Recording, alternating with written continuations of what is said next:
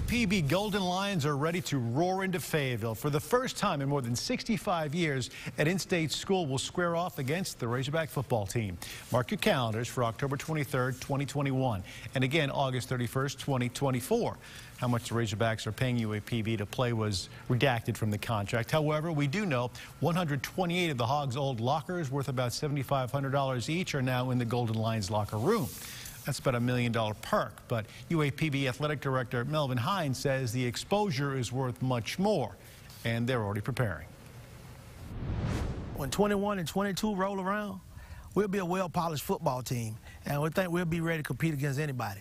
Now, to say we're going to win both games, I'm not making any predictions today, but I will tell you this, the Lions are coming.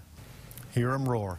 Both games will be played in Fayetteville. Also part of the contract, Arkansas is paying an undisclosed amount of money for UAPB to play Oklahoma State University in 2022.